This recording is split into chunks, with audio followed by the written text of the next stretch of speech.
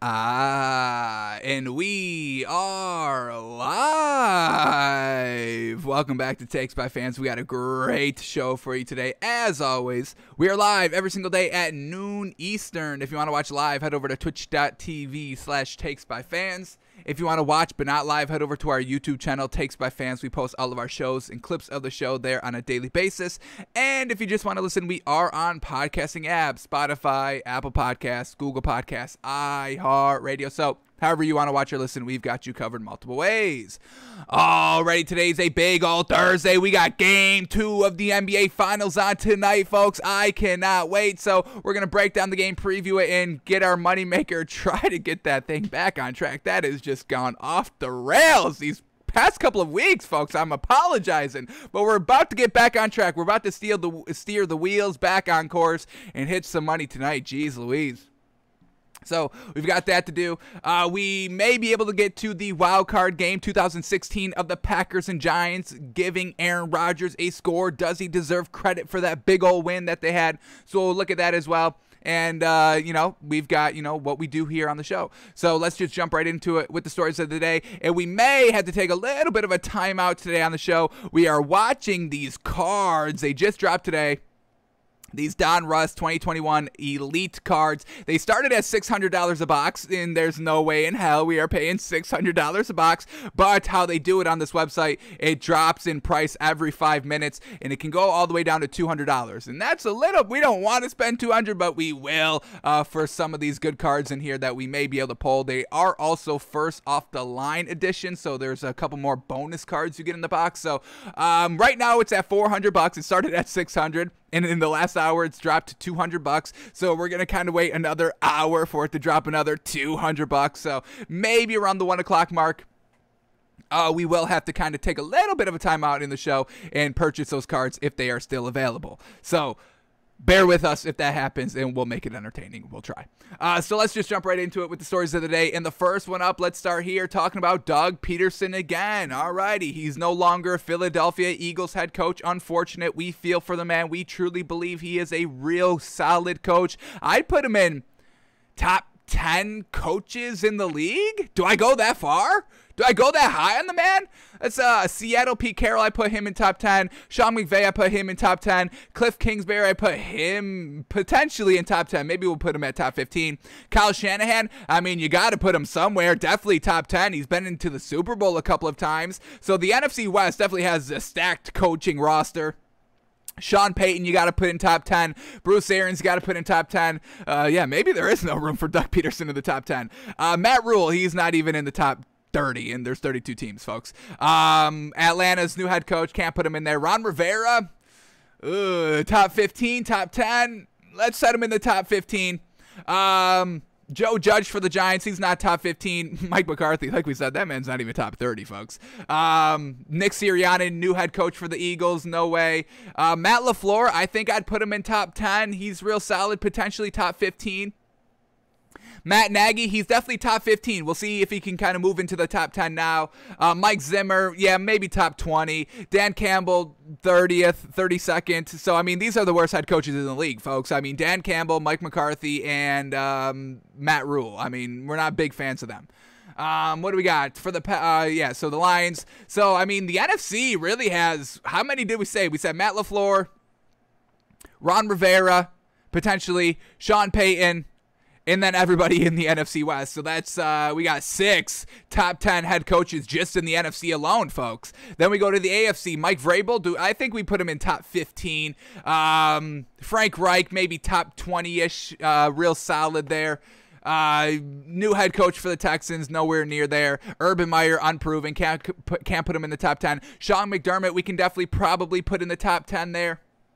Bill Belichick, obviously, we got to put in the top ten. Um, Brian Flores, I would say top 15, real close entering that top 10 territory. Mike Tomlin, I would kind of say top 15. I don't know about top 10 just because of, you know, he's had Big Ben his entire career and they've kind of underperformed in some situations. He led him to the Super Bowl, so definitely kind of top 15 ish. But maybe uh, I don't know. They went they went uh, eight and eight with no Big Ben that year when he kind of went down early, and they had to use Mason Rudolph and you know the the the three Stooges that they had at quarterback there. So potentially Mike Tomlin, you can make the argument for top ten. John Harbaugh got to probably put in top Ugh, he's another tough one. Won a ring with Joe Flacco, but you know that's that was really it. You know, making it work with Lamar Jackson in this talented roster. So kind of in the same territory that we're kind of talking with um uh, Mike Tomlin and potentially right on that border of top 10 and top 15. We'll slide him in the top 10. Uh, Andy Reid got to put in top 10, and that's really it. So uh, Doug Pederson could definitely kind of be and uh, like number 9, 10, 11, 12, right in that nice range of top 15 and top 10. So yeah, I would say top top 12-ish in the league. I've got no problem saying that. All right, so now we're talking about Doug Pederson. Unfortunately, he does not have a head coaching job, and that makes us a little upset. We would like to see this man still in the league. I mean, there's countless. I mean, folks. I mean, like we said, he's top 10 co- top 12 coaches in this league. So those other 20 teams, y'all need to get rid of your head coach and hire this man. So he's taking the year off of coaching, unfortunate, but we get another kind of inside look of really what was going on with this Eagles team this season that just kind of unraveled. They got rid of Carson Wentz, they got rid of Doug Pederson, and are kind of just moving on decent little rebuild. So we get another inside look of that. So Doug Pederson says the Eagles didn't draft Jalen Hurts to undermine Carson Wentz and said that Carson Wentz was definitely our starter. He was the franchise. So once again, we, you know, that's kind of what we were thinking that, you know, you draft Jalen Hurts just to kind of have a solid backup. Carson Wentz was still the face of the franchise. I just never, I just don't think that was ever truly communicated all the way down the line from the general manager to the head coach to Carson Wentz. And I think that's where all the really dysfunction came in the kind of, you know, upsetness that Carson Wentz just had overall uh, with the Philadelphia organization. So let's go into this article right here and let's kind of see did they have a game plan with Carson Wentz?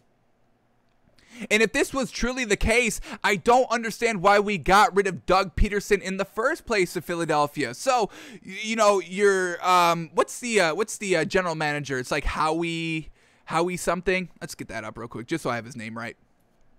Eagles general manager. Howie Roseman. Okay. Howie Roseman and then Jeff Lurie, he's the owner? Was he the owner?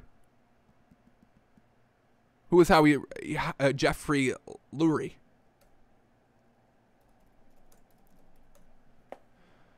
Yeah, Jeffrey Lurie. So Jeffrey Lurie is the owner. Lurie is the owner. Howie Roseman is the general manager, and Doug Pederson was the head coach, as we're kind of you know talking about last season.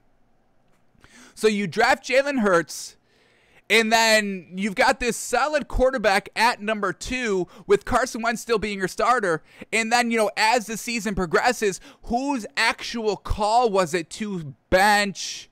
Carson Wentz. Did that come from the top? Did that come from the owner, Jeffrey Lurie, Lowry, however you pronounce it, it's L U R L U R I E. So I'm I'm taking it as Lurie for now. Um, Lowry does come off the tongue better though. uh, but did that come down from the owner, the general manager, or was that Doug Pederson's call? Because we heard Doug Pederson in another quote earlier, you know, a couple weeks ago when we, you know, talked about this as well that there was kind of just a mutual decision to move on and we didn't really get anything of who truly made the call. So did doug pederson make the call and the general manager didn't like it so they let um Doug Pederson go, but you know, in that kind of goes hand in hand with you know Carson Wentz was the franchise, and you know the general manager didn't like that, so they sent out Doug Pederson, but then they also got rid of Carson Wentz. But if you knew you were going to get rid of Carson Wentz, not why not keep the good coach that has led you to successful seasons time and time and time again every time he's been here in this in the uh, as as the head coach for the Eagles. So we we we we just want to get to the bottom of truly why Doug Pederson was let go. Uh, we don't really see a reasoning why. So let's see if we get any more information here with what Doug Pederson is saying. So here we go. let's start here. All right, now head coach Doug Pederson is gone. In all right, let's start at the top. They say anything good here? A year ago, at this time, the Philadelphia Eagles selection of Jalen Hurts was still somewhat puzzling. And yeah, once again, if you knew that Carson Wentz was your franchise, why are you going after Jalen Hurts still kind of early in the draft? It's still, you know, nothing is adding up here in Philadelphia, and that's why we're trying to get to the bottom of it. it we want to know the the full extent to it because you don't just get rid of your starting quarterback and you don't just get rid of a Super Bowl winning head coach just like that in a rebuild for Jalen Hurts, who should be solid, and then Nick Sirianni, who, you know, has never been a head coach. He's an offensive coordinator, not a head coach. So, real kind of question marks here. But let's continue on. Uh, would he offer the would he offer the Eagles another element for their offense, a Taysom Hill of sorts? Was the quarterback of the future when the franchise quarterback was still in his prime years. Now head coach Doug Pederson is gone, and so too is quarterback Carson Wentz following a disaster of a 2020 season in which Hurts's potential was the only highlight to emerge after Wentz turned in his worst career campaign and Pederson oversaw an NFC worst 4 11 1 showing. So they just had one bad year, and we know they had a bad year, but we chalked that all up to you know Carson Wentz just kind of be feeling a little disrespected by the franchise overall, kind of like what Aaron Rodgers was feeling. Hey, you know, instead of getting me a little bit more help, you're gonna draft my replacement, even though you're telling me I'm the face of the franchise, and you also told me the same thing when Nick Foles won the Super Bowl, but then you have a statue of him outside of the stadium. So I'm getting mixed signals here. You're saying one thing and doing another. So I'm I'm just going to quit on the year. I'm just going to let the ball fly. And if it's a touchdown, great for me. If it's a pick, that's on y'all because I'm out next year. So we just want to get to the bottom of what truly went down in Philadelphia. And everybody's kind of, you know, putting on a smile and there's nobody's blaming each other. Start blaming each other so we can pick up some nuggets of information. Everyone's like, oh, it's just, you know, a mutual breakup. It was a mutual breakup of Carson Wentz. It was a mutual breakup of Doug Pederson. It can't just be everybody mutually agreeing out here. Doug Pederson's not a head coach anymore. You you don't think, you know, he wouldn't be fighting for his job of Philadelphia if he didn't think that he had a job lined up? I think he would have fought a little bit harder if he knew, hey, I have to sit out for a year. I don't think he wanted to do that. No way. It's hard to get a head coaching job in this league, especially if you're going to take a year off. Yes, we know you won a Super Bowl. That was a couple years ago. And you haven't coached in, in a year, and the league changes every year just like this. So, why don't you start as an offensive coordinator? Then work your way back up. Nobody wants to do that. Nobody wants to do that. Jason Garrett, unfortunately, had to do that. Um, unfortunately. I think he is a better offense coordinator than he is a head coach, but all right, what else do we get here? Got to get to this quote. Um, much ado has been made about the Eagles drafting of Hurts in the second round of the 2020 NFL Draft as the starting point for the disharmony that undid the club from within. Truly that.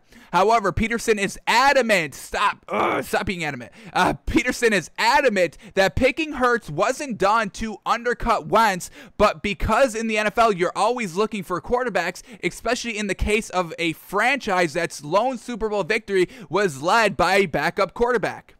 Quote, you know, this is from Doug Pederson. Quote, you know, you go into drafts and you go into each year looking for quarterbacks, and we continue to look for quarterbacks, and that's always something that will never change. We won a Super Bowl with our backup quarterback, and we've had to play with our backups a couple of times in Philadelphia. And that is true. That was kind of the big, that's the only knock really on Carson Wentz. He can't stay healthy. So, you know, we can't understand that, at, you know, kind of in the business, the general manager, the front office side of the Eagles that, hey, let's get a solid backup because we most likely will need him. But that needs to be communicated 100%. You need to make Carson Wentz feel like no matter what, you will always be the starter. This is just kind of a little bit of an insurance policy. And, you know, we just have to do this. And maybe Carson Wentz understands, or maybe he doesn't. He leaves either way. All right, so uh, back to the quote. Uh, so we did that a year ago and brought in Jalen Hurts, not to undermine Carson Wentz, not to do anything to take away his job or anything, because Carson was definitely our starter. He was the franchise and all that moving forward. But someone that could come in and could be the backup and learn how to play the NFL game, bring his talents to the Philadelphia Eagles. So once again, I just don't think there was great communication here in the Eagles. I believe they had in mind, you know, the mindset that Carson was the starter, but also in the back of their mind, they're like, this man's not reliable. So, uh, you know, we've got to just be ready for that at a moment's notice. And I think Carson Wentz took that as a little bit of a slight, a little bit of a dig, and just kind of, you know, everything that's been happening previously the Eagles giving all the credit to his kind of Super Bowl. He got them to the playoffs, folks. He put them in the position to get to the Super Bowl. We are not taking anything away from Nick Foles because he's the one that actually went out and did it on the field. So we give credit to Nick Foles for that. But we've seen what Nick Foles can do in the regular season. It's trash. It's absolutely trash. The man caught magic, the man caught momentum, and it led him to the Super Bowl. We've seen this before. The the Giants, both years that they won the Super Bowl against Tom Brady, they were going into the playoffs like 9 and 7 Nothing great. Eli Manning catches magic, the defense catches magic, and they win the Super Bowl. This, this is not out of the realm of what happens in the NFL. But you do need somebody that can get you into the playoffs to set you up for that.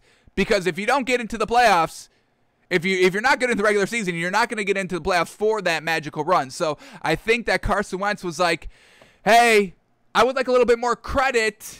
I don't need all the credit, but I want way more than what you guys are giving me. And I never thought, and I really don't think the coaching staff and the owner, the management here in Philadelphia was truly letting Carson Wentz get the recognition and the respect that he still kind of deserved for his play in the regular season.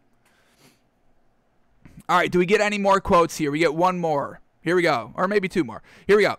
Injury woes from seasons past in Wentz's play dropped drastically. It was a free fall in Pederson's eyes, but one he was hoping to pilot the franchise out from. That chance wasn't afforded to him, however. Wentz has been shipped off to Indianapolis, and Pederson is walking the earth looking for a new opportunity instead of walking the Philly sideline. Quote, and really, as the season began, things just started to kind of, I guess, spiral out of control. Injuries began to set in. And once again, we saw that, and Carson Wentz always overcame those wide receiver injuries. Carson Wentz has never really had a full healthy team. Either he's injured or, you know, the, the wide receivers and the weapons are injured. We, we saw that time and time again. So once again, why are we getting d- rid of Doug Pederson when just injuries every single year at every major position, and he's still having viable competitive seasons.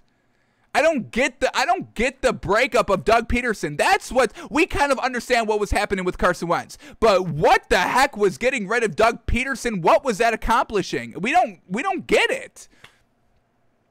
But let's continue here. Injuries began to set in. Quote, uh, we weren't playing very well. Turnovers uh, offensively. And yeah, I mean, Carson Wentz had 15 and he even played the entire season. How, uh, that was real bad.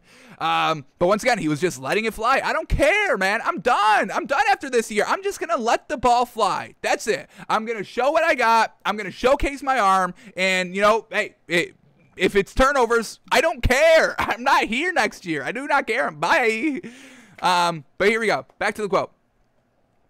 Uh, turnovers offensively, just a number of things, penalties, more injuries, compounded problems, and it just became harder and harder as the year wore on. No one person is to blame for any of what happened last year, and it's just unfortunate for me because I was hoping to really have an opportunity to fix the issues that we had and kind of get everything back on track. Whether it was going to be this year or next year, and obviously that didn't happen. I don't spend a lot of time thinking about the ifs ands, and buts. I just focus on the future and I look forward to that. All right, last uh, quote here. Obviously, my goal in my hiring in 2016 was to hopefully bring a championship to Philadelphia, and we accomplished that in our second year there. Fantastic. I mean, once again, year two, and you win a ring. Then injuries start to set in. Carson Wentz is still getting injured. Wide receivers are still getting injured. And he's still having decent seasons, folks. Decent seasons. Uh, quote. So I look back on my time there. There was a lot of positives I take from it, but I'm not going to dwell too much on the past. I'm going to learn from it, obviously, and hopefully, if I can get an opportunity to coach again, which I hope I can do, and we definitely hope he does as well, and we truly foresee him getting another coaching job. We'll see which coaches flounder this season and get the boot, whether mid-season, late season, because Doug Pederson's going to be candidate number one for really any head coaching openings uh, and I'll I'll take the good with me. So We don't get any information. We just want to know why Doug Pederson was fired. That's it. That's it. Can somebody tell us that? That's all we want to know. We know why Carson Wentz left. We know why he was kind of, you know, a little pushed out. Why did Doug Pederson have to go as well? I would trust Jalen Hurts. I would trust D- Doug Pederson to mentor and shape Jalen Hurts. Absolutely. He's not having that chance. And could you imagine finally a great wide receiver in DeVonta Smith? Hopefully he can stay healthy. He don't he doesn't get that chance. Unfortunate. All right, let's move on here. All right, next uh, next uh, two stories here are from Kyle Shanahan and Sean McVay. They were just on a podcast together, and we got some decent kind of digs and nuggets of information here so we can talk about this. So Kyle Shanahan and Sean McVay, they seem to be real kind of buddies. They kind of, you know, are friends in real life. So, you know, them being on the podcast together, they were kind of, you know, talking freely and taking subtle kind of, hey, hey. So here we go. Let's get into this. So Shanahan was recently on the Flying Coach, the Flying Couch. That's Coach. Yeah, Coach. the Flying Coach podcast with McVay and Peter Schrager. McVay ribbed Shanahan, asking the Niners coach how he liked the Rams' new addition. Quote from Kyle Shanahan. You don't want to get me started, dude. That was frustrating. I was in Cabo. I was studying it all. I remember looking through it because everybody was telling me it was a possibility. Stafford's the man. I studied him hard coming out of college, and you always play against him, so you know how good he is but to know he might be a uh, might be available and to spend two weeks really watching him, Sean, yeah, he's better than I realize. He was the man. He's actually underrated to me. I know how good of a guy you got. I know how good he is at play action. I know how smart he is. Not only does he just have a big arm, but he's got touch. He knows where to go with the ball, so I was trying to get involved. So, I mean, once again, I mean, everybody's still gushing over Matt Stafford, and we understand the gush, folks. It was just truly that Lions team for his entire career was nothing great. He had Megatron and they were getting it done during those Megatron years, folks. They just never had the coaching staff, the defense to truly put them over the edge. You can't win in this league with just a good quarterback and wide receiver. You need the great head coach. You need a real good defense. That's why Bill Belichick is probably just the smartest mind in the NFL. He's probably the greatest individual part of a dynasty ever because he realized that you don't need the receivers. You don't need A1 tier 1 wide receivers. You don't need A1 tier 1 running backs. You need an A1 tier 1 quarterback. You need a smart head coach, and Bill Belichick, you got to give him some credit. I don't care how much credit you give him, but you have to give him some credit for just his intelligence overall of football, and you need a good defense. And that's what Bill Belichick's specialty was. So I'm going big on defense, and I'm going to let Tom do his thing because I believe and I trust, I know Tom can do it. And Tom went out and did it, and Bill went out and coached the defense. And they won ring after ring after ring after ring. Best dynasty of my lifetime. Potentially greatest dynasty of all time. You can make the argument. I would most likely agree. So, this is how you do it, folks. And that Lions team had none of that. They had the quarterback. They didn't have the coach. They didn't have the defense. You need those other two parts, folks. This is not basketball. It's not one guy can take over. It's not if you have a LeBron James, you're instantly pretty much going to a conference finals. Football's different, folks. There's there's there's a hundred people on the sideline every single game, folks. There's two sides of the ball. And then you got special teams mixed in there as well. So you need all three pieces to just be competitive. You know, you're not even guaranteed anything. I mean, we, we look at the Chiefs, they got to the Super Bowl but they lost it. Unfortunately, we're looking at kind of this Ravens team. Great defense. They've got the quarterback, they've got the coach, and they can't even get to the conference championships. We've got Buffalo now. Great defense, great coach, great quarterback, and they're losing in the AFC championship game. So it's not even like if you have those three pieces, you're guaranteed a ring you still got to compete with the the five, six, seven, eight other teams that still kind of have that as at the base level of all those three great components and it's still hard to win in this league. So nothing's guaranteed in this league, folks. It's crazy. That's just what makes that Patriots dynasty even more impressive, honestly.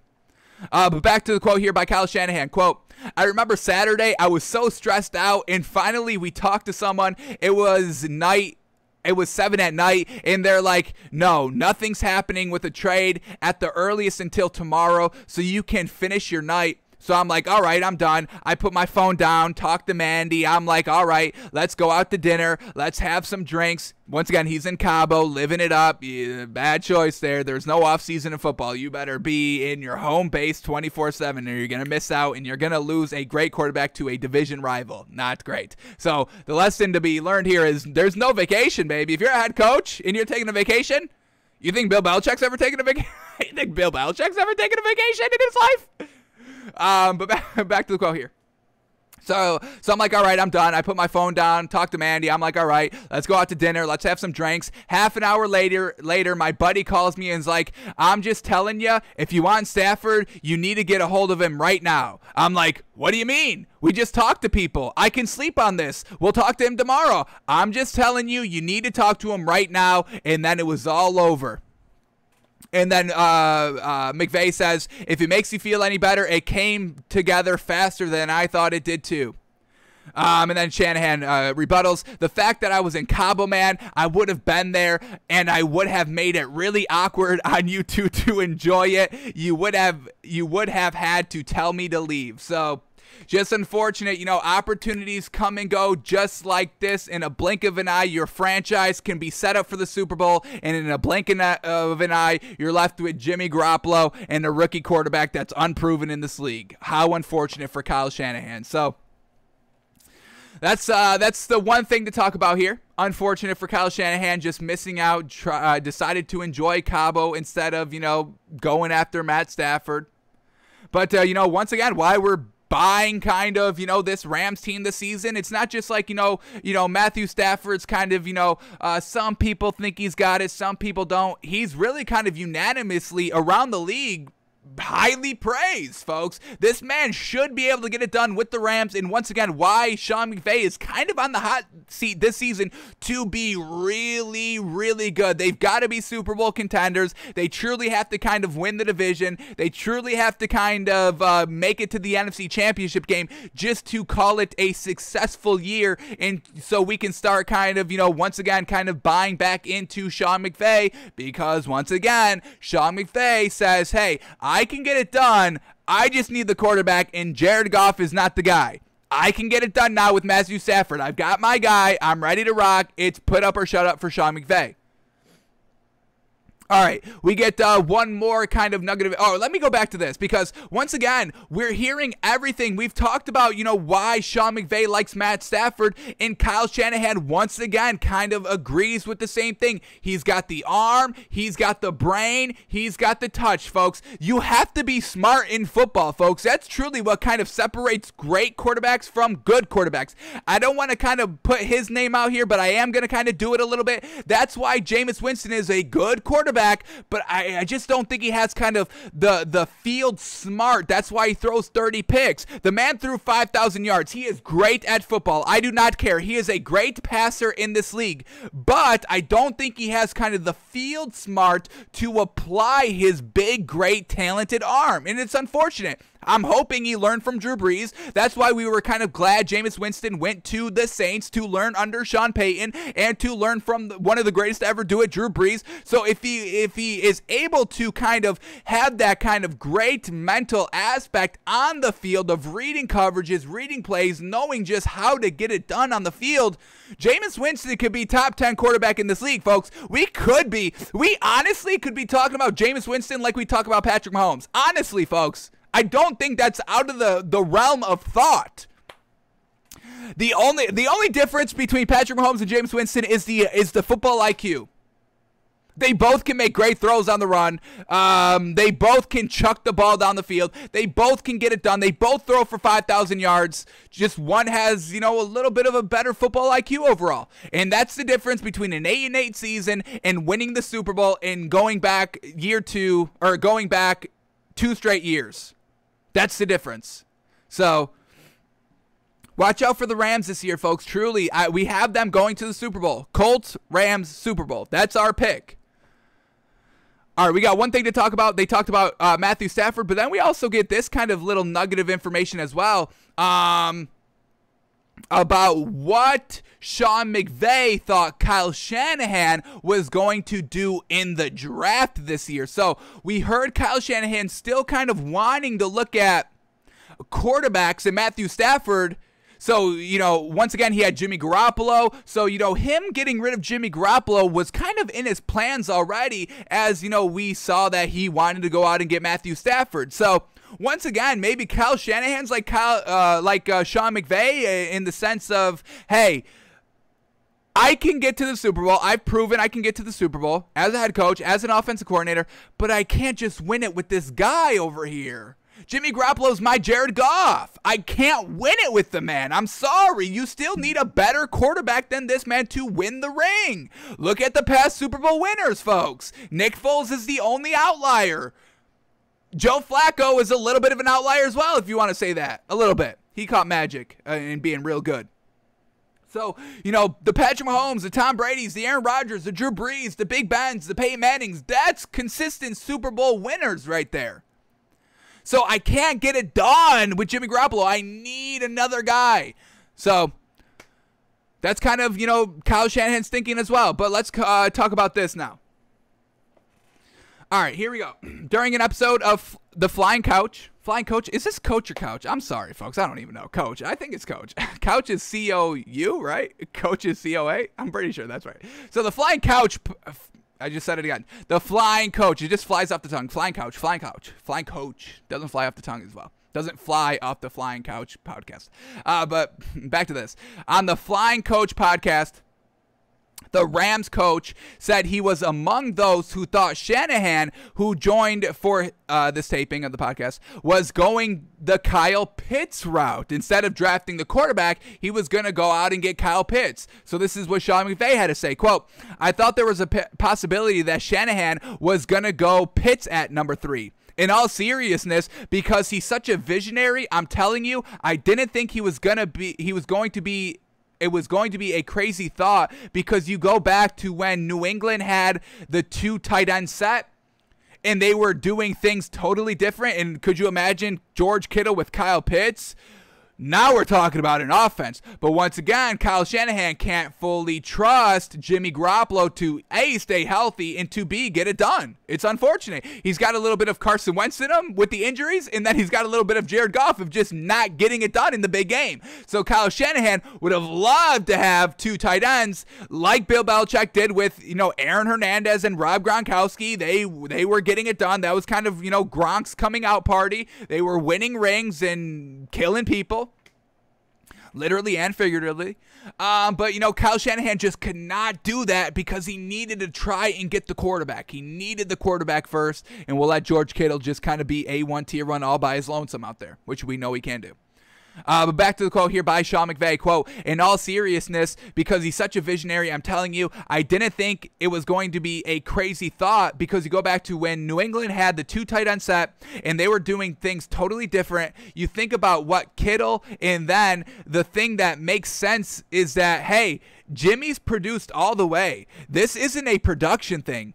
This is an availability thing. And you're saying we can't have that. Like all the things um, who who's this quote right here? Is this um? I think this is still uh, Sean McVay. So quote, uh, but it, but I was like, if it's not Mac Jones, and I hadn't studied Trey just because there wasn't a lot of film exposure going back a couple of years, and we weren't in that market, so. I didn't know other than watching him throw at his pro day, pro day that you're saying, all right, you can see a lot of the things that you would like, and that would make sense.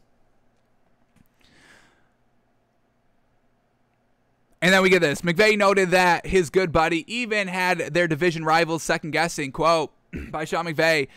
He had everybody fooled, and he and he got the people that he knew would be looking to fool us as well. So everybody was thinking that you know Kyle Shanahan would go Kyle Pitts at number three instead of quarterback. But um, just kind of once again, he, he can't rely on the availability, and the availability is big. One year we can kind of you know write it off. All right, it was a fluke season. Carson Wentz's first injury, alrighty, that's fluke. Jimmy Garoppolo's first injury, which was by himself tearing it. What he tore his ACL because he was trying to juke on the sideline. Unfortunate in a meaningless play to pick up meaningless five extra yards. Unfortunate. That's how he gets injured. So all right, we can write those injuries off. No worries. Let's come back next year. We can kind of piece everything together for this remaining season, but next year we need you there big time. And then you get injured again, and it's like, Alrighty, well, I'm not going to have my coaching record, uh, uh, you know, affected by your talent, your injuries. I'm not going to have that. You know, unfortunately, this is a team game, but it's also a little bit of individual business here. If I'm not producing as the coach, they're going to get rid of me. If you're not producing or available as the quarterback, I'm going to get rid of you. We're all trying to save face as well as making the team work, and I'm not going to sink down while you're sinking. I'm abandoning ship. It's unfortunate. But hey, I'm looking out for myself a little bit as I'm trying to make this team work overall. So, just a little insight there uh, between Kyle Shanahan, Sean McVay. Great, absolute stacked division. It will always probably be the best division in football for the next at least three, four seasons, as long as these head coaches and great quarterbacks emerging up in this league. Um, so watch out for the NFC West. It's absolutely great. Seahawks, Pete Carroll, Russell Wilson, Rams, Sean McVay, Matt Stafford, Cardinals, Cliff Kingsbury, and Kyler Murray, and the 49ers with Kyle Shanahan and potentially. Who do they pick up? Who's their quarterback? Um, um, Justin Fields. No. They got Trey Lance. Yeah, I can't believe they got Trey Lance. Why would you go out and get Trey Lance? That's right. Yeah, that's right, right? Trey Lance? Yeah, I don't I don't like Trey Lance at all. I mean, the one big knock I have on Trey Lance is the man played, you know, in um, the FCS and he had a great 2019 season, but when we looked at that COVID season, the one game they played before the season got canceled, the man threw a pick. The man threw no touchdowns and a pick. He threw no picks in 2019. So you're in a worse kind of overall football division, and then you just threw a pick. So did you just have one good year? We like Justin Fields 100% over 100% over Trey Lance, but we'll see. We'll see how he pans out. Kyle Shanahan's kind of big on him, so I guess we have to kind of you know respect his choice and respect his mind. Everybody's bragging about him. He's pretty solid, so hopefully he's got the right guy there. Alrighty. Let's move on here. Let's check the price of these cards real quickly. They are still in stock and they drop down to do 383. It's still too high for us, folks. Still still way too high. We're looking for 200. Screw that 383 noise. No, thank you. Alrighty, let's go back to a story here. Here we go. Jaguars rookie Travis Etienne has Trevor Lawrence's help in attempting to learn receiver position. So we kind of, you know, talked about this early on in the uh, the OTAs when Urban Meyer is like, I'm not having Travis Etienne run any um, running plays. He's only playing receiver here for the OTAs. And we were like, okay, we don't really like that. And once again, kind of Urban Meyer, his first real decisions are not having Travis Etienne play the running back position early in those training camps and signing Tim Tebow. These are his big first moves, folks. I can't get behind any of them. So, and also when we kind of look back, you know, Travis Etienne and Trevor Lawrence, they both played at Clemson together. When we look at what Travis Etienne did, folks, I mean, the man rushed for 1,600 yards back to back. Back to back in 2018 2019. Fantastic. He ran for 900 yards in uh, 2020, but he didn't have as many carries. Um, he averaged 5.4 yards carry. I mean, folks, when he was rushing for 1,600 yards, he was averaging 8.1 and 7.8 yards a carry. Uh, that is absolutely brilliant. Fantastic. absolutely fantastic. So the fact that Urban Meyer wants to just kind of, you know, transform him into a dual threat kind of Alvin Kamara, Christian McCaffrey, I it does work in this league, but if you've got, you know, a home run hitter at the running back position, then just let him do that. He only caught his best uh, receiving season was his last season for 588 yards. He caught 432 yards with 1,600 yards rushing. That's an absolutely phenomenal season. Jeez Louise, 2019, folks. 2,000 yards total, 1,600 rushing, 400 receiving. So it's still decent. We know Christian McCaffrey, a dual threat, 1,000, 1,000, 1,000 yards rushing, 1,000 yards receiving. And Alvin Kamara is about 900 rushing. He's never broken that 1,000 yard mark. And I think he's more like 600 yards receiving. So once again, not bad. But if we could put up 1600 on the ground, I'm gonna take that. Shoot. And the fact that Trevor Lawrence and him never truly they got it going decent. They had 900 yards. Uh, you know, Travis Etienne had 900 yards receiving during his last two seasons combined. But when we look at kind of Trevor Lance's throwing stats, I mean, he's only thrown for 3,000 yards, folks. 3,200 year one, 3,600 year two, 3,100 year three. So it's not like Trevor Lawrence is kind of, you know, getting it to him in college. And that would have been the perfect time to see what they could do. Trevor Lawrence throwing the ball to Travis Etienne because it's college and you can just easily beat the defenders. So they weren't truly getting it done in college, and now they're trying to bring it to this NFL system where we know the NFL the defenses are absolutely way better, a thousand percent way better than they are in college. So it's just like we're not truly understanding. We we we we get the strategy because it does work in this league. It doesn't work that much. There's only two players that are dual threat rushers and receivers in this league, and it's Christian McCaffrey and Alvin Kamara. The other ones can kind of go for about two, three hundred. That's kind of you know averageish, just the check downs on the running back positions. So you know these aren't these kind of you know game changer dual threat running backs. There's only two in the league, folks.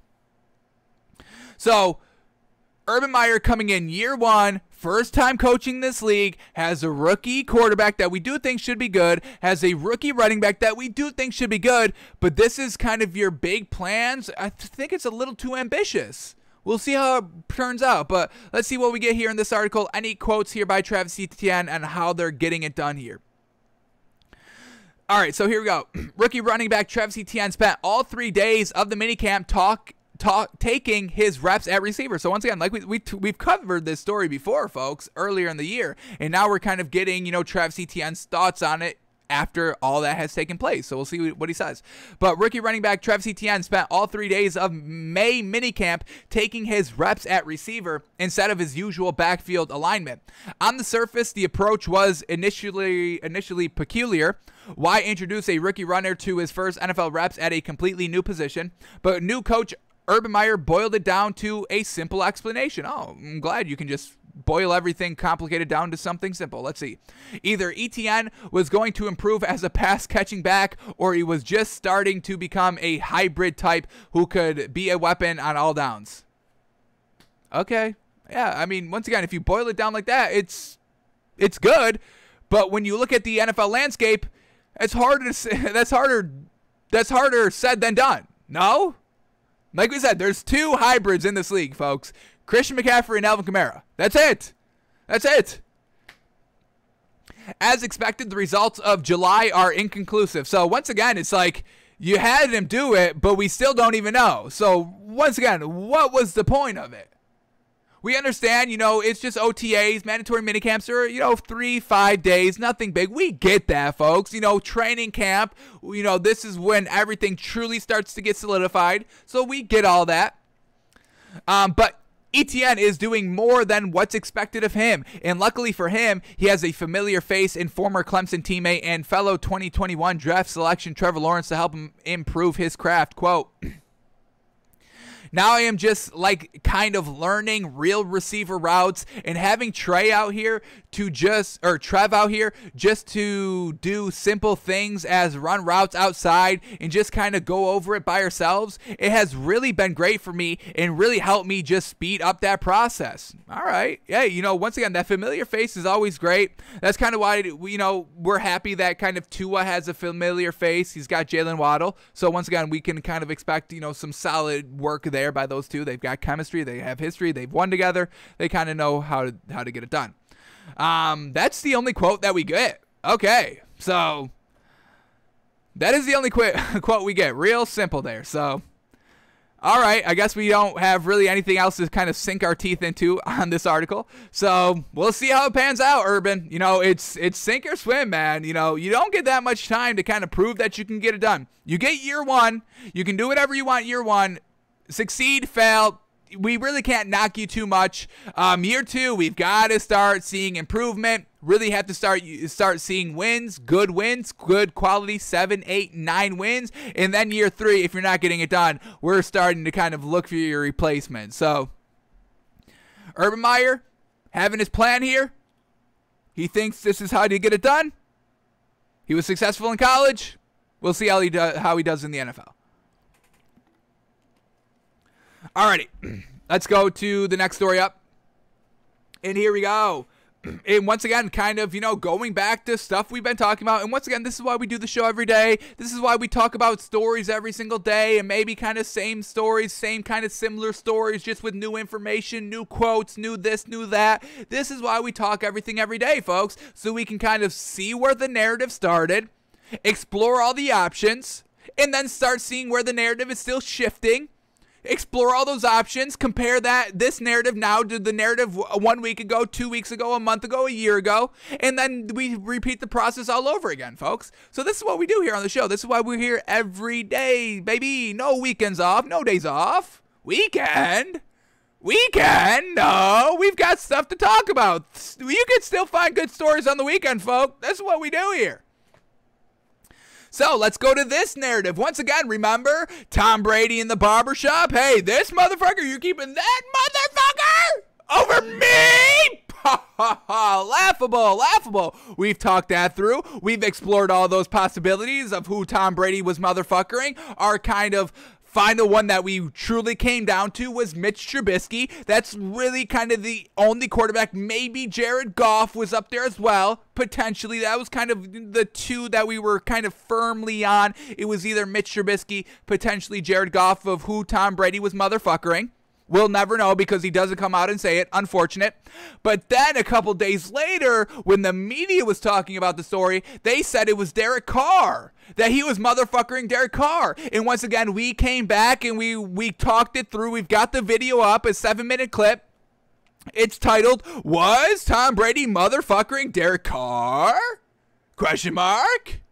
And we never bought into that. Everybody was like, oh, yeah, it was Derek Carr. Oh, yeah, it was Derek Carr. I'm hearing it's Derek Carr. I'm hearing it was the Raiders. I'm hearing it was Derek Carr.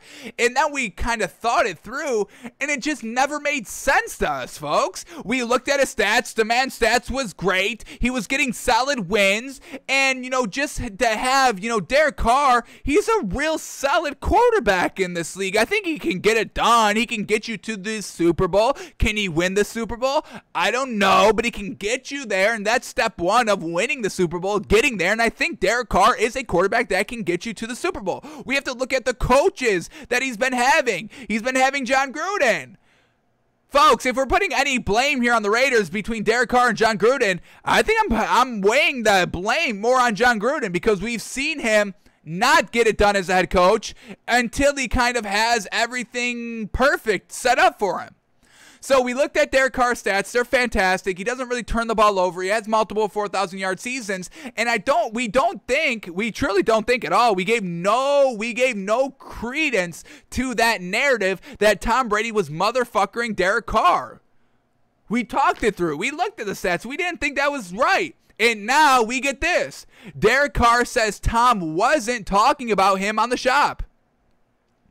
So, quote here by Derek Carr when asked about, you know, if Tom Brady was motherfuckering him. He says, If it was, I've gotten in enough trouble saying to challenge some people to fight. So Derek Carr's a fighter out here. He wants he wants to smoke out here. Once again, you're not motherfuckering somebody that wants to smoke, honestly.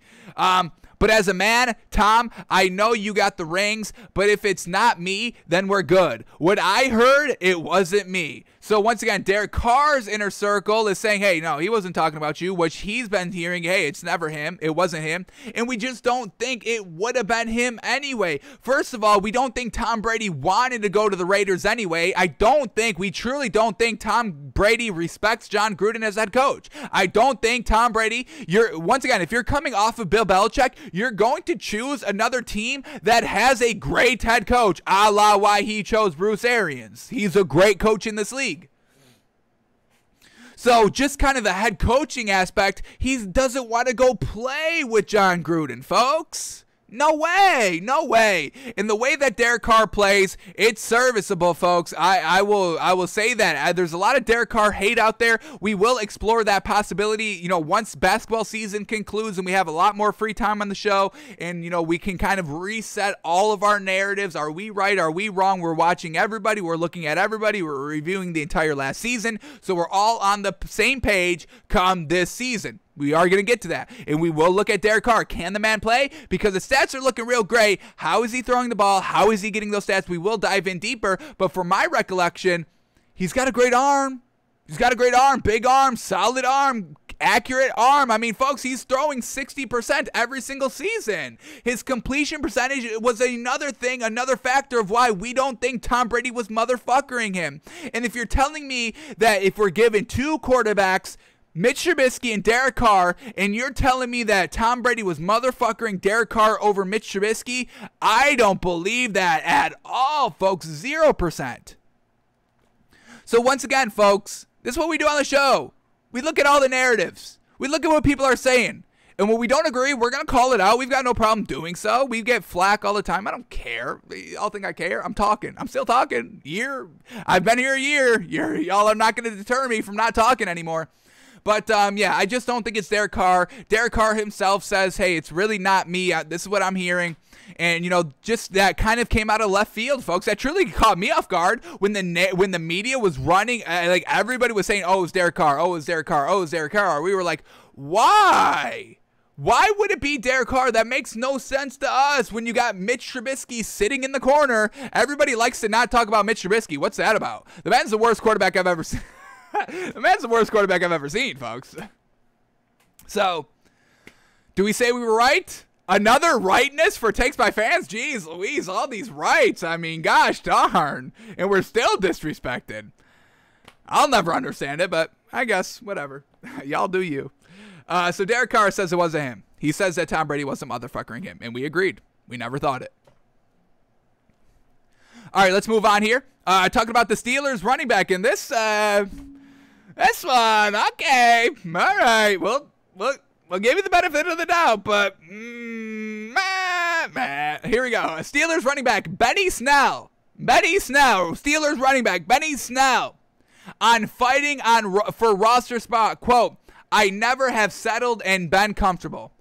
Okay. The only reason why we were going to talk about this story is because if you're a running back on the Steelers, you might as well not even try. you might as well not even try. You got Najee Harris in front of you. You'll never see the field. But let's see what Benny Snell is saying here. He's fighting for a roster spot. Want to be kind of number two behind Najee Harris. We are big, big, big on Najee Harris. We think he's going to hit the ground running, and we think he's going to have he'll he'll set he'll set the the single season rushing record. He will do that year one, rookie year, and cement himself as the greatest running back of all time. And Derrick Henry will have to get on his horse to try to beat that. They'll they'll be going back and forth, folks. Derrick Henry and Najee Harris. You can quote me on this. I don't care. Najee Harris and Trev, um, Najee Harris and Derrick Henry will be each setting the single season rush record from here on out. From here for the next 10 years, it will be Na- Najee Harris one year, Derrick Henry the other, Najee Harris, Derrick Henry, all leapfrogging them, and then uh, somebody's going to end up with 3,000 yards rushing. Something so absurd. But one of these running backs will do so, folks. You can quote me on this. I do not care. This is my take. I will die on this take. So let's see what Benny Snell is saying here on this tough, tough, tough running back room because Najee Harris is there. All right, here we go. The Steelers. Um, all right, let's start at the top. We got to start at the top here. Here we go. The Pittsburgh Steelers reworked their running back room in 2021, saying goodbye to James Conner, thank goodness, in drafting Najee Harris in the first round. The Steelers also signed Kalen Ballage and Benny Snell, Snell and Jaylen Samuels and Trey Edmunds and a 2020 fourth round pick, Anthony McFarland. So they do have a crowded room, but we all know who the leader is. There is no way any any of these uh, of these running backs, Kalen Ballage, Benny Snell, Jaylen Samuels, or Trey Edmunds, will ever try and touch running back one, Najee Harris. The crowded room with Nara, with Harris at the top should set off a battle for backup roster spots. Yes, I'm glad that everybody's on the same page. We are all battling for backup spots, number two, number three. uh, during training camp. With Snell and Ballage playing a similar reserve between the tackles role, there should be a battle to make the final 53 man roster. Snell was asked about the projection during an appearance on Kentucky Sports Radio. The 23 year old responded that he could only put his best foot forward and let his play do the talking. Quote, Honestly, I can say I'm taking it as part of my journey. I never have settled and been comfortable. You know that. This is my job now, you know? Another thing I keep in mind was the Steelers picked me. I didn't pick the Steelers, so I'm ride and dying about where I'm at when it comes time to work, it's time to work. I feel like even on top of us having Najee, you can't just do one back for the whole season and hustle. No, you can. Najee Harris can. Najee Harris and Derrick Henry are the only two backs that you can have only one running back on your team and still win a Super Bowl. That's it. Don't undermine this man. Benny. Benny Snell. I feel like even on top of having Najee, you can't just do one back for the whole season and hustle. I definitely know that roads and big time moments are going to come up, and I'm going to make sure I'm ready for them. I'm just keeping my head down and working. All right, we can respect that. Um, you know, hey, we're all just fighting for running back number two here. Kalen Ballage, Benny Snell, Trey Edmunds You're going to have to go and get that work because, like we said, I mean, one roster spot's guaranteed. It's guaranteed. It's gone. It's off the table. Now there's maybe two, two running back spots left. Maybe three if we're going to keep four. We probably won't because Najee Harris is so gosh darn good. He'll play one and two. So the two goes to three and the three goes to the four. Um, is that right? Did I do that right? You keep three. Najee Harris can play two. And then the other two just go to three and four, even though there's only three. Najee Harris is two, folks. he's he's two runners. Uh, he's two spots on the roster. He's so gosh darn good. All right, so let's uh, let's give Benny Snell the benefit of the doubt here. Let's look up his stats. Obviously, no big name here, but let's see what he's been doing, where he's been at. We'll give him some benefit of the doubt here, shouting him out. All right, so he's been in Pittsburgh, uh, 2019, 426 yards. Last season, 368 yards. So once again, it's like if you weren't beating out James Conner for the job, uh, obviously, we've got some solid yards here. These are solid backup yards, all rightish. 400 yards, 300 yards, not bad. What did he do? Catching out of the backfield? He does not catch out of the backfield. Okay. 23 yards receiving year one, 61 yards receiving year two. That's nothing great. So you're not catching the ball out of the backfield. You're not having kind of a second component to your game it's going to be a little hard to kind of, you know, challenge. You know, we don't we know Najee Harris is a decent catcher. He can get it done. He's a better runner than catcher, obviously. He's not going to come out and be Alvin Kamara or kind of Christian McCaffrey in the dual threat, but you know he'll be you know the the kind of an average, above average pass catcher out there. So Benny Snell kind of working you know against him a little bit that he's not kind of this elite pass catcher out of the backfield. But uh, you know, we got July training camp coming up at the at the end of this month, and we'll see which running backs emerge as two and three because we all know running back one, signed, sealed, delivered. Alrighty, here we go. This uh, this little race appeared on our timeline, and I'm very glad it did. We can always praise, always praise Tyreek Mother Loving Hill. He is the best receiver in the league. Once again, I will live and die by this take. Right now, he is the best receiver in this league. It's him. So, he raced Aaron Jones yesterday. And folks, folks, talk about a blowout. A short little, maybe 40 yard dash.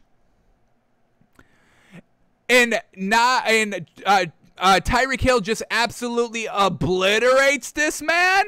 I mean, this man's a full three yards ahead of him. Tyreek Hill is a full three yards ahead of Aaron Jones at the end of the race. Here we go. I'm, I'm going to take this as the finish line right here because Tyreek Hill even kind of lets up a little bit. So this is a solid three yards, folks. Do you know how much separation three yards is in the NFL? It's huge, folks. It's huge. This is three steps ahead. We, we talk about, you know, being a step ahead of half a step ahead. This man is three steps ahead of him. So if we could kind of highlight Tyreek Hill, we will always do that on the show. I would have no problem taking the entire show, an hour and a half, and talk about Tyreek Hill. He is the best receiver in the league. Let's get his official height up. I believe he's 5'8. Which is just stupid. Maybe maybe not that small. Maybe 5'10. Uh, I don't think no, he's not that tall. He's not 5'10. Uh, but let's see what Tyreek Hill is officially.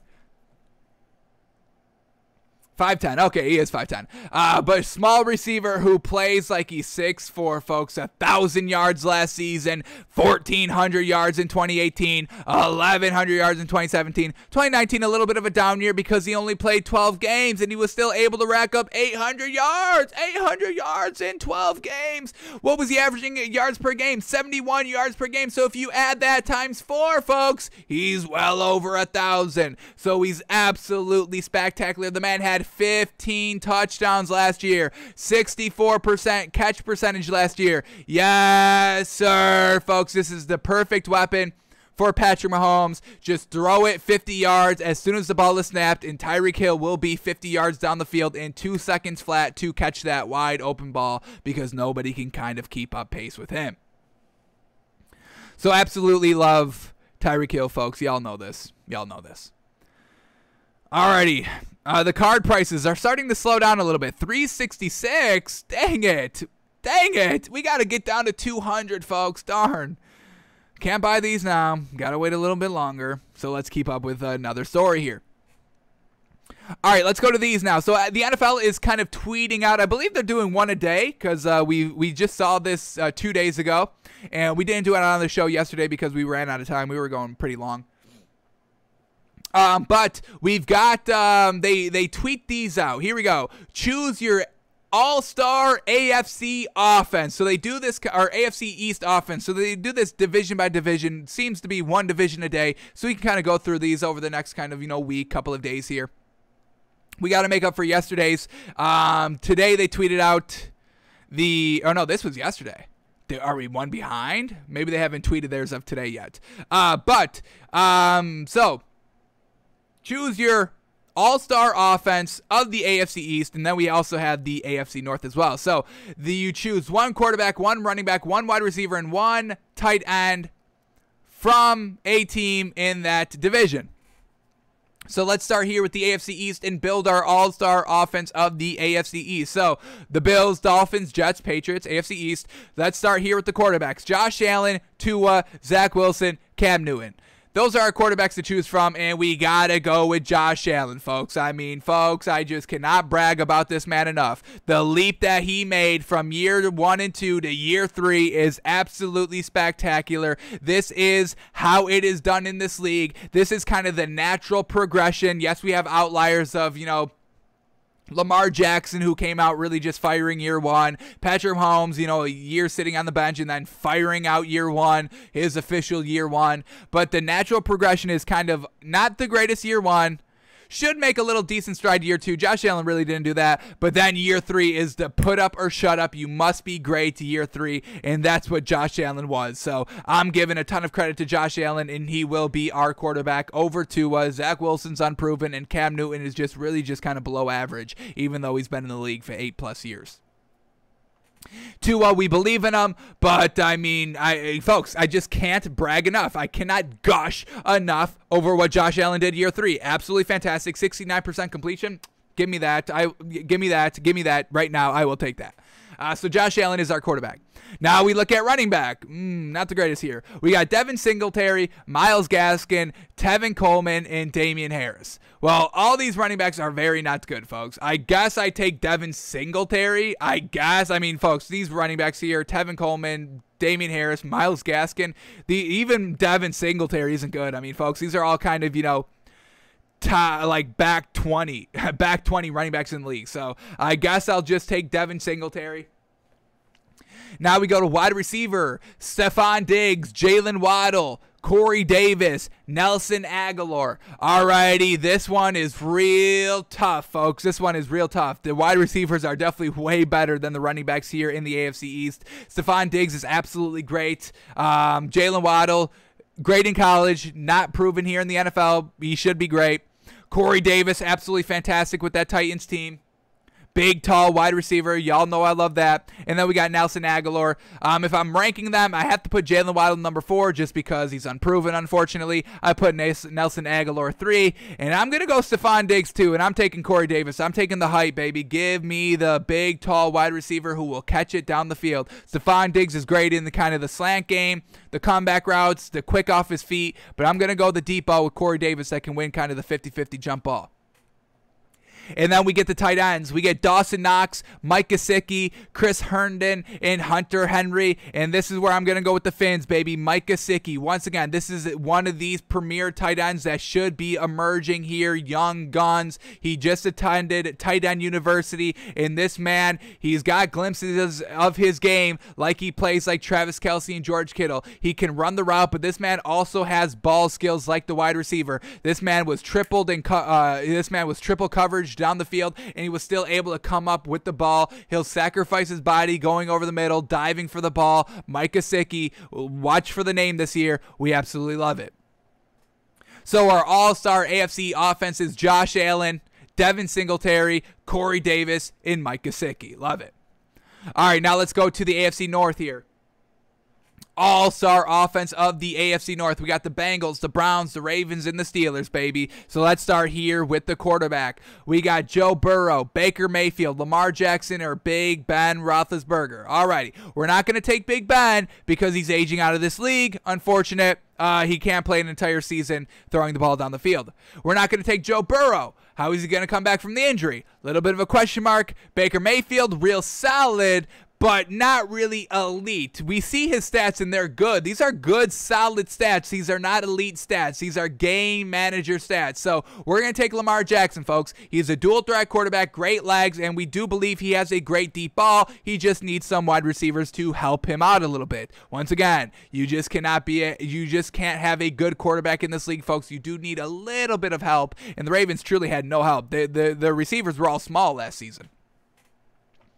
So I'm taking Lamar Jackson as the quarterback. Now we got running back. We got Joe Mixon, Nick Chubb, J.K. Dobbins, or Najee Harris, and I am in a pickle here, folks. I am in a big old pickle. I'm not taking Joe Mixon, and I'm not taking J.K. Dobbins. Nick Chubb is fantastic, but Najee Harris, folks. Ugh, do I go with proven or soon to be definite proven running back in this league in Najee Harris? That is where we had the dilemma. But I'm going to go. I'm going to give the respect to Nick Chubb. I'm going to respect Nick Chubb here and take Nick Chubb. I love Najee Harris. I'll gush about him all day long, but I have to see him week one. After after his first rush, then we can start believing in Najee Harris 100%. But I got to see the first rush in the NFL first. That's it. So I'm taking Lamar Jackson at quarterback, Nick Chubb at running back. Now we got the wide receivers. We got Ja'Marr Chase, OBJ, Hollywood Brown, and Juju Smith Schuster. Well, I'm not taking Hollywood Brown with Lamar Jackson. They're good, they're speedsters, but this man cannot catch any ball down 20 yards. It's unfortunate. Odell Beckham, I reach back like 1 3, like 1 3. Yes, sir. This man's absolutely great at catching the ball. Ja'Marr Chase, just once again, just a little unproven in this league, and I don't think he's kind of even the top of the crop here at wide receivers in this draft. I'm taking DeVonta Smith, and I'm taking Jaylen Waddle over Ja'Marr Chase. Sue me. He, he didn't play. He opted out of the 2020 season. Unfortunate. Haven't seen him playing in a year. One hit wonder? Maybe, most likely not, but also potentially. So I can't give it to uh, Ja'Marr Chase. And then we get Juju Smith Schuster. Um, he's been reliable here, but the dancing on the sideline, uh, dancing on the logo, just kind of that not kind of football IQ I need of just kind of overall sports IQ as well. Of hey, don't give any unnecessary motivation to the opposing team before the game has even started. So I'm gonna go with OBJ. And now we get to tight end position. And I love that they add the tight ends here. Once again, we are big on tight ends this year, folks. Tight end University, that is their new nickname. We are now takes by Tight End University. That's our new name of the show. Uh, but here we go. The tight ends. We got Drew Sample, Austin Hooper, Mark Andrews, or Eric Ebron. All right, real solid here. These are all kind of tier two tight ends. No elite Darren Waller, no elite George Kittle, no elite Travis Kelce just quite yet. Mark Andrews is real freaking solid. Austin Hooper is real great. What did Austin Hooper do last year? Did he have above 500? Because I think I'm choosing either Austin Hooper or Mark Andrews. Austin Hooper had 435 yards. He's maxed out at 787 for his career. And what does Mark Andrews do? I don't think Mark Andrews has that high of a receiving season, unfortunately. Uh, 700 yards last season, 800 yards 2019. Yeah, okay, I was wrong about that. Yeah, I am taking Mark Andrews 100% there. Give me Mark Andrews as the tight end position. So our all-star offense is Lamar Jackson, Nick Chubb, OBJ, and Mark Andrews. Only using the Browns and only using the Ravens. Very close of using the Steelers for their running back. Alrighty, that are those are all the stories that we needed to cover for today. So let's head over to the NBA and kind of talk over Game Two of the NBA Finals, tipping off at nine o'clock tonight on ABC. Suns won Game One, 118-105, folks. Real great game. We had a great game from Chris Paul, his best game of the season. Honestly, pretty much right there. Fantastic. 32 points, 9 rebounds. Devin Booker, just solid 27 points. And then DeAndre and 22 points and 19 rebounds. Absolutely phenomenal. Now, the Suns still won, and Jae Crowder had a real lackluster game. He shot 0 of 8. 8. That's lackluster as you can get, folks. One point, 0 of 8 from the field split his free throws, got to the line twice and split those. So he was trash.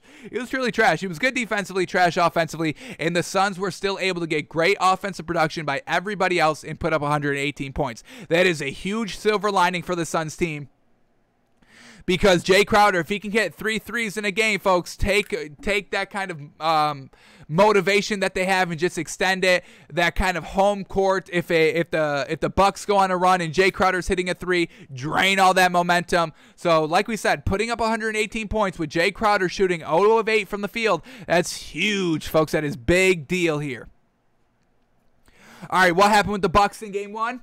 We got, um, you know, Brook Lopez kind of getting bitched big time. Chris Paul shooting over him and just kind of DeAndre Ayton taking him to the cleaners a little bit. Giannis had a real great game. He was the only kind of silver lining here in this Bucks team. He was a plus one at 20 points, 17 rebounds, and he played 35 minutes. So he is going to play game two, no doubt. But we need Khris Middleton to be a little bit more efficient. He was solid, 29 points on 46% shooting he actually wasn't bad. We do de- definitely need just Jrue Holiday to be a little bit more efficient. But once again, you know, Chris Paul locking him up a little bit. We've only seen Jrue Holiday kind of get it done against kind of subpar point guards. Didn't get it done against the Nets when James Harden was just kind of standing around at the three point arc coming back from the injury. And, you know, after Trae Young went down, then he finally was able to get it going a little bit more. So once again, Jrue Holiday, we need a big game from him for the Bucks to win game two. All right, let's get the spread up. Uh, hopefully we can finally bet this on um, DraftKings. Here we go. Is the spread here? Here we go. Finally. All right. So here we go. Bucks plus five, Suns minus five. So let's compare the spread back to game one. When Giannis was a game time decision, really more leaning towards he was not playing. It was Bucks plus six. When Giannis was playing right before the game started, when he got announced that he was going to give it a go, the spread went to Bucks plus four and a half. So now it's kind of right in that sweet spot of the two at Bucks plus five. Let's see the ins and out here.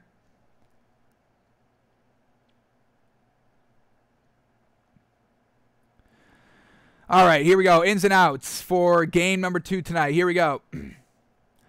Uh, everybody's going to go for the Bucks. Giannis is not a game time decision. He is definitely playing like we knew. And then for the Suns, oh, we forgot to talk about this the other day. How unfortunate. Dario Saric tore his ACL game one. He was in for like five minutes. I don't even think five minutes. How many minutes did he play? I think he just got in and like the first first play he tore his ACL. How unfortunate. Uh, Dario Saric, what do we got? Two minutes and 24 seconds played. True. I mean, I'm not making a joke. I mean, it's unfortunate, truly. Um, so Frank Kaminsky comes in, and we are decently big on Frank Kaminsky. He only played three minutes though, so we would like more minutes by Frank Kaminsky. Frank Kaminsky was in during those two regular season, at least one. Was he in in both? At least one of those regular season games, Frank Kaminsky was in the starting lineup uh, for the Suns Bucks in the regular season. So, um, yeah, that's kind of you know big here. Obviously, you know, DeAndre Ayton's better than both of them. We know them. He's just a reliever out there. But we do believe in Frank Kaminsky. We don't think that's going to hurt this Suns team overall too much, honestly. I do like Frank Kaminsky. Do I like him better than Dario Saric?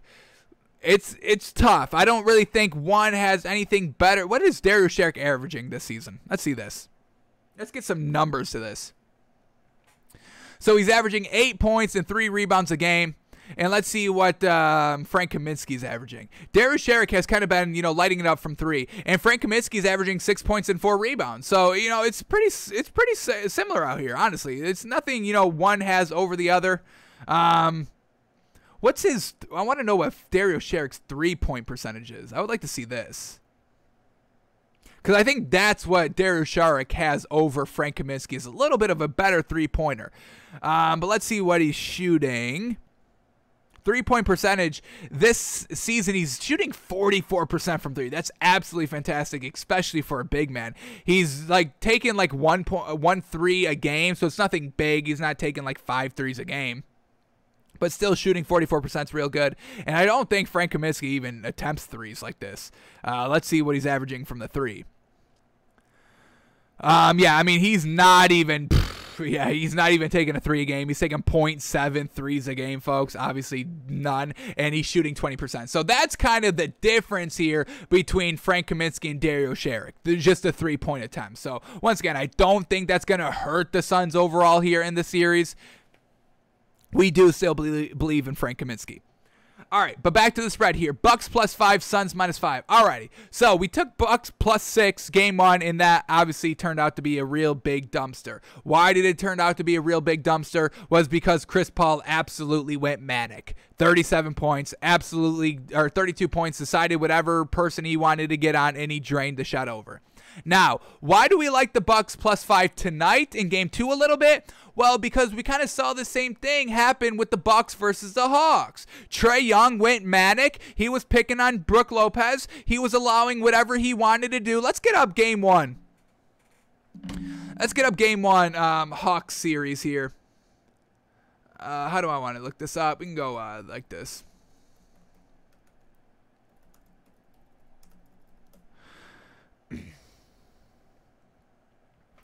Let's go like this, folks. All right, here we go. Bucks Hawks game 1. Hawks win 116-113 and I believe they kind of the Bucks came back big in the fourth quarter a little bit. Uh, here we go. The quarter is scoring by quarter. Hawks uh, down 25 to 28. Uh, Hawks down in the second quarter 29 to 31 then they have the big third quarter 34 to 26 and then they both tied up in the fourth quarter. So a little bit different than my original thinking there. I thought Hawks just were kind of good from the rip, uh, big good from the rip, but you know, real close. I mean, they were only down um, five points at halftime, and then blew them out by uh, by eight in the third quarter. Not eight, yeah, eight, eight. All right, uh, but um, let's look what Trae Young did, folks. Trae Young, 48 points. Chris Paul, 32 points. So, once again, the point guards truly getting it done. And the big thing, once again, was that Brook Lopez was just getting absolutely killed, folks.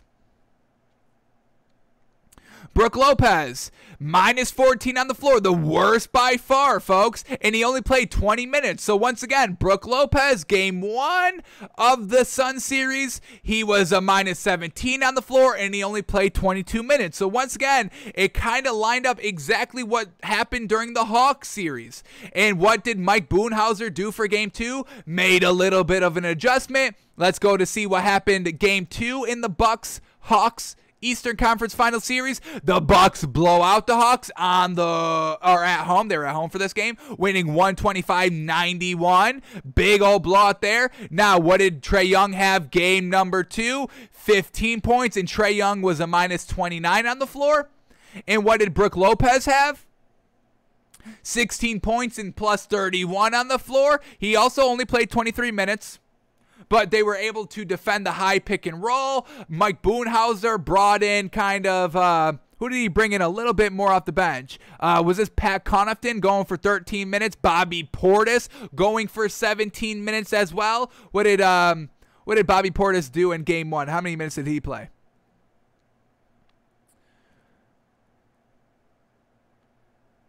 Bobby Portis played 14 minutes in game number one. So once again, giving more minutes to Brook Lopez, giving more minutes to uh, Bobby Portis, figuring out the high pick and roll that Clint Capela and Trae Young were running, and Trae Young able to pick this offense apart in game one, and they shut it down in game two. Now, Mike Budenholzer's his legacy is on the line this series, folks. This finals, he needs to be a smart, great head coach. We need to see that proven by him. He kind of did it in spurts in this Hawk series, but once again, him kind of not making making any adjustments in game one, he kind of resorted to kind of, you know, classic national spotlight Mike Budenholzer of, you know, he's a garbage head coach.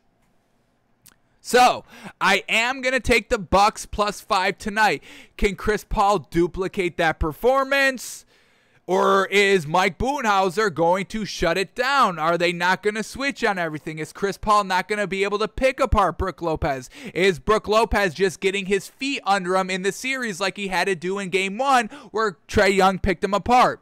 So I'm gonna kind of ride what the Bucks have been doing a little bit. We let you win game one, maybe even game two, but we're constantly learning, evolving, and learning what it's gonna take to come out and beat you. And I'm gonna give this Bucks team the benefit of the doubt tonight to say that they come back with a great game plan and come out and be competitive and try to win game two uh, uh, on the road here to try to not go down 0-2 heading back to Milwaukee where now it's do or die. So I'm gonna take the Bucks plus five here. I'm going to give a lot of stake. I'm trusting Mike Budenholzer here. You better pay off. I'm trusting Brook Lopez. Once again, you better pay off. And I'm have I'm going to have to have a little bit more faith in Jrue Holiday as well, who pretty much had. Is this the worst game? Is this his worst game of the entire playoffs? Let's get his stats up real quickly. His just overall playoff stats. To see, was this Jrue Holiday's worst game that he played in the entire playoffs? Because it potentially could have been. 10 points on awful shooting. He shot, what, 30? 28%. Absolutely abysmal. Absolutely abysmal. So let's get up Jrue Holiday stats here for the playoffs. Because we need him to be good. We obviously need Khris Middleton to kind of do what he did. 46%. I'll, I'll give Khris Middleton. This was a good game by Khris Middleton. I'm not going to knock Khris Middleton. I've done enough of that throughout the, the last season and this regular season. It's time to start giving this man some credit. And he had a real solid good game. He outperformed Devin Booker, no? Khris Middleton both playing the two. Khris Middleton, 29 points on 46% shooting, and Devin Booker, 27 points on 38% shooting on 21 shots. So, yeah, truly outperformed Devin Booker. He was able to get to the line, and that's, oh my God, once again, I mean, another thing to talk about, I mean, the Bucks only got to the free throw line 16 times. The Suns got to the free throw line 26 times. So once again, 10 point difference there in a 13 point game. So if the Bucks can get a couple more calls, maybe the refs can. This is a real thing that the refs talk about. How do we call the game?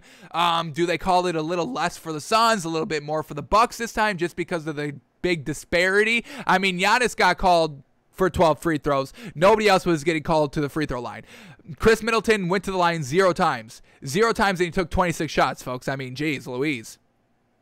So that's another thing that we can kind of see maybe play out is the Bucks getting to the line a couple more, and once again, free points for this Bucks team keeps the game a little bit closer. But let's go back to Jrue Holiday here um, in his playoff performances. Here we go. He started big minutes every single every single game because we know Donte DiVincenzo. I believe when did Donte DiVincenzo go down? Interesting. We'll find that out later. We don't need to go into that now. Let's just focus on Jrue Holiday. So we're just going to name his points with his shooting percentage from game one all the way down to last night. And keep in mind, last night, what we are, com- or yeah, yeah, uh, two nights ago. Two nights ago. Um, game one. Let's say it like that. But um, this is what Jrue Holiday did, what we are comparing it to 10 points on 28% shooting, real abysmal. Let's see if this is the worst game. So here we go 20 points, 50% shooting, 11 points, 41% shooting, 19 points, 70% shooting, 11 points, 33% shooting, 17 points, 36% shooting, 13 points, 60% shooting, 9 points, 28% shooting. This was game 2 against or game 3 against the Nets. So that was abysmal. Again, real like game 1. All right, but then we're back to 14 points on 37% shooting, 19 points on 43% shooting, 21 points on 38%, 13 points on 21%. Jeez Louise, that's awful as well. And that was once again against the Nets series. So once again, solid kind of people on the perimeter. We have to kind of, you know, re know that just James Harden, he was just standing at kind of, you know, the perimeter. So, you know, after his injury coming back from the, the injury for this Nets playoff series. So he wasn't 100%. He was just kind of camping on the perimeter at the three point line. Hey, drive, but you're going to run into Blake and Kevin Durant. But I'm going to lock you up on the perimeter. And so Jrue Holiday not being that greatest against the Nets. All right, but then we're at the Hawks series 33 points on 56% shooting, 22 points on 64% shooting, 6 points on 18% shooting, 19 points on 35% shooting, 25 points on 45% shooting, and 27 points on 47% shooting. So, once again, we saw him do good against the Heat, and we saw him do good against the Hawks, struggled against the Nets, and now struggling against Chris Paul here. So, he's been having some good games. It's like one, two, three, four ish games where he truly floundered shooting the ball like low, like bad 28%. So it's not. It's more likely that he has a good game than he does have a bad game. But we have to see this Chris Paul factor, and we'll know more on game two whether Chris Paul is truly locking this man down. But once again, we are going to give him the benefit of the. Oh my God! And as we're talking, folks, as we're talking, people are betting the Bucks. The value just went down. How unfortunate! We just lost value. We didn't lock it in yet. Once again, take the value. See, see what happens when you try to talk through value. You lose the value. Dang it! It! Dang it, y'all! I had to talk. I had to, I had to talk through it for y'all. Damn it! So it just went down to Bucks plus four and a half. Now we lost that half a point hook. We'll still buy the half a point though. Uh, minus 121 now at Bucks plus five. Minus 113 at plus four four and a half. So that's how it goes, folks. Value slips away. Value slips away just like that since we're on the topic of value, so we are going to take the Bucks plus five, plus four and a half, whatever you lock it in at. We will officially lock this in at Bucks plus five, though. Uh, but since we're talking about value, let's go back. We haven't checked this in a couple of days, so let's go to this. Who is going to be the week one starter for the Bears, folks? This is easy money. It's going to be Justin Fields. We know this. It was at plus 300. We've been telling you to take it while you can get it. Get it while it's hot. Get it while that value is good because it's only going to go down from whenever we set it till, you know, the start of training camp and the end of training camp. So let's see. Did this go down yet? Starting quarterback for the Bears. Justin Fields is still at plus 300. So, hey, Take the value. Don't miss out. You know, like we just did for the Bucks. We just lost some value there. Get the value. Justin Fields to be the week one starter plus 300. We love it. This probably you probably have some solid weeks here to lock in this value. This value probably won't start going down until the start of training camp when we get to see Justin Fields work and play. So, just be wary of that. You still have some time but it can still just flip on a switch, folks. You can just lose it. We just lost it right in front of our eyes, folks. It can happen that quickly. So get the value. That's the lesson we always preach here. Get the value when you see it. Lock in the value, folks. So Bucks plus five tonight, folks. That's what we're taking. Love it. Game two, gonna be great. Let's see if Chris Paul can duplicate that performance. Let's see if Mike Budenholzer kind of, you know, gets the defense right a little bit. And uh, let's see, Giannis, we need a little bit more out of him. We need him to be a little bit more aggressive. Got to put up like 30 points like we are used to. All right. So that's going to do it for us today. Um, let's see where these cards have finally dropped down to. We're at 350. Um, are these still in stock? Oh, no, they're gone. They're gone. They're gone, folks. They sold out. Unfortunate, but we weren't paying 350 anyway. so unfortunate. Once again, you know, we, we try to get too much value. See what happens? It's a it's a real fine line, folks, between great value, bad value, and gone. So that's the betting, folks. That's betting. That's kind of waiting. It's unfortunate. But we're not tripping. Uh, we got a backup plan, so no worries. no worries. Alrighty, folks. That's going to do it for us today. Uh, we are back tomorrow live noon Eastern, breaking down game two. Um, we will watch. Uh, we'll have more time in the show because we don't have to kind of talk about basketball that in depth. We will kind of cover game two. Uh, but we will watch the wild card game 2016 Packers Giants and give uh, give our score on Aaron Rodgers and you know doing the stories of the day and keeping on trap top of narratives and all that. So thanks for tuning in. Thanks for watching. It doesn't seem like anything has been breaking. Um, so we will get out of here. And we will be back tomorrow, folks, live noon Eastern. We are here every day. If you ever think, hey, are they on today? We are. We are. Um, so make us your sports provider. Sports commentary, sports narrative, sports talk through provider, folks. We're right here for free. For free! Jeez, we should start charging. Get it before we start charging. Get the get the sports value before we start charging. Yeah? All right, folks. We are out of here.